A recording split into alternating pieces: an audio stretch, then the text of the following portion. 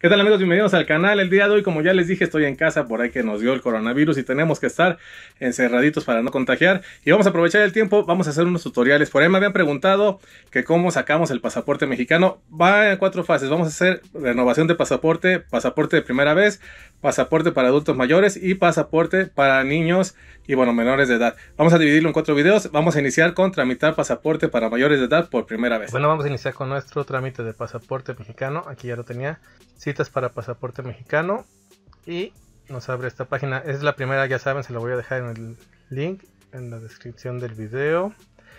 Y bueno, hay que hacer cita. Primero necesitamos hacer una cita para nuestro pasaporte de primera vez. Eh, se puede hacer vía internet o en un número 800 que les voy a dejar también aquí abajo. Cuando mi computadora reaccione. quedó muy lenta. Bueno, aquí dice que hay que crear nuestra cuenta en el sistema de citas. Yo ya tengo creada una, ustedes van a crear una aquí con su correo. Ponen su correo, crean una contraseña. Aquí abajito les dice crear una contraseña. Cuenta, ustedes van a crear cuenta si es de primera vez. Ya saben, he leído los términos y condiciones, les doy que sí acepto y vamos a ingresar a la página de relaciones exteriores de, de el país México. Confirmación de datos. Estimado usuario, con el objetivo de agilizar la captura de sus datos para la programación de su cita, deberás tener a la mano tu acta de nacimiento, consulta e imprimir aquí. También les dejo el link abajo. O carta de naturalización. Bueno, en este caso vamos a, trabajar con ciudadanos mexicanos mayores de 18 años en este, en este video.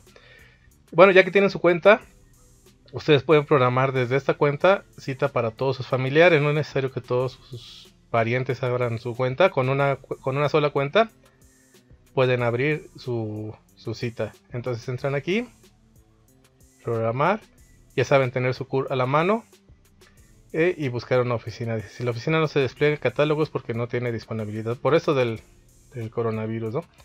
Bueno, entonces ustedes escogen el país donde van a solicitar su, su trámite de pasaporte. Nosotros vamos a hacerlo para México, ¿no? Estamos en México. Ya si alguien anda en otro lado, solamente es cambiar datos. Ciudad de México. Campeche, ahí están las oficinas de, que hay en el país de relaciones exteriores. Y ya dentro de cada estado, ya van a encontrar su delegación. Ya escogen, por ejemplo, una, aquí terminar aeropuerto. Escogen, seleccionen primero. Confirmación de cita. Deberá confirmar la cita ya que toda información capturada será evaluada con los parámetros en la oficina seleccionada. Una vez confirmada, no podrá cambiar entre oficinas durante todo el proceso. Aquí Dios dice que es muy importante que la oficina que vayas a escoger es con la que vas a terminar. Y atención, si usted es ciudadano mexicano por naturalización y cuenta con una CUR con terminología NE, deberá ingresar como lo tuvo en su carta de naturalización. Bueno, eso es para los que son naturalizados. Aquí vamos a poner un CUR. Bueno, aquí ingresan su CUR, sus datos.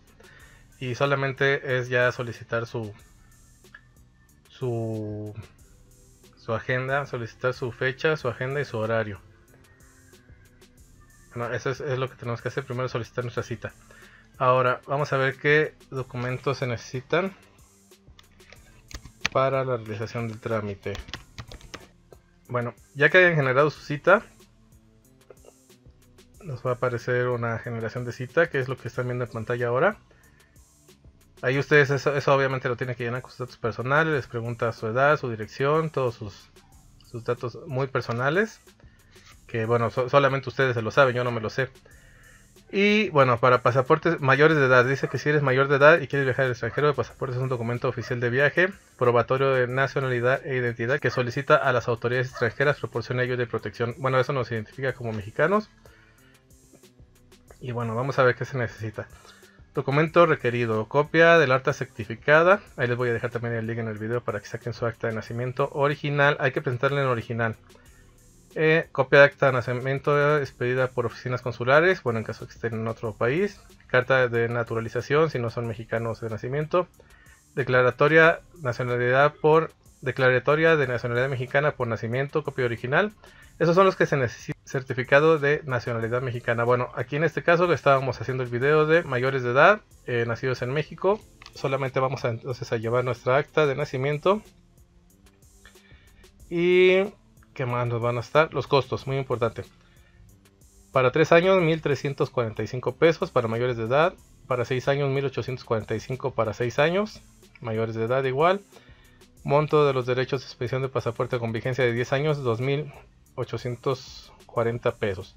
Se le van a descargar tres archivos, ahorita se los, los muestro. Uno es la hoja de pago de derechos, otro es un tríptico con la ayuda de lo que necesitas y la otra es tu cita de pasaporte como tal. Dice que hay que presentarse con una cita previa en, cualquiera de las 45 delegaciones de la Secretaría de Relaciones Exteriores, oficinas estatales o municipales. Bueno, eso ya depende de dónde escogieron ustedes su, cita. Y aquí está un teléfono que también les voy a dejar abajo. Si no tienen acceso a internet eh, o, se les complica por ahí el, hacer la cita, van a llamar a este teléfono y bueno, ahí los atienden. Es muy rápido, yo ya lo hice, eh, te contestan rapidísimo con horarios de lunes a viernes de 9 a 6 de la tarde y de 9 a 2 de la tarde los sábados. Y bueno, ahí haces tu cita. Recuerda entonces, vamos a llevar nuestra acta de nacimiento, alguna identificación oficial, llámense su INE o algo que tengan por ahí, su licencia, ya saben, siempre estar identificándose, y su acta de nacimiento. De todo lleven dos copias y muy importante, en la entrada les van a pedir una pluma eh, no entran, de verdad que no entran a la oficina si no, si no llevan su pluma. Esto es para que firmen sus documentos y también evitar contagios. Pluma color negra. Y bueno, ahí están ya los, los costos. Se los dejo otra vez aquí en pantalla. 3 años, 1345. 6 años, 1845. Y 10 años, 2840 pesos se tienen que presentar por lo menos una hora antes. El trámite no tarda mucho, es una hora igual. Se van bañaditos, peinaditos. Ahí les van a tomar sus datos, sus huellas. Y bueno, pues es todo lo que hay que llevar para el pasaporte de mayores de 18 años. Bueno, pues ya ahí los dejo. Me cuentan cómo les va en, en su en su trámite. Ahí dejen los comentarios. Cualquier duda que tengamos, pues vamos a solucionarla. Ahí me dejan sus comentarios. Yo le voy a buscar aquí. Yo recién acabo de hacer mi trámite. Eh, fue muy fácil. Así yo el mío es renovación. Después hacemos otro video de renovación. Pero recuerden este, llevar sus documentos, no andarse llevando actas que tengan 30 años, llévense una nuevecita. Y bueno, su identificación, siempre identifíquense con su documento oficial que tengan. En caso de no tenerlo, pues sí hay que, hay que tramitarlo, hay que hacer su INE, revisar sus CURPS, que estén bien los CURPS, sus datos, porque de otra forma puede salir este, con errores su, su documento. Bueno, nos vemos en un siguiente video. Hasta la próxima. Chao, chao.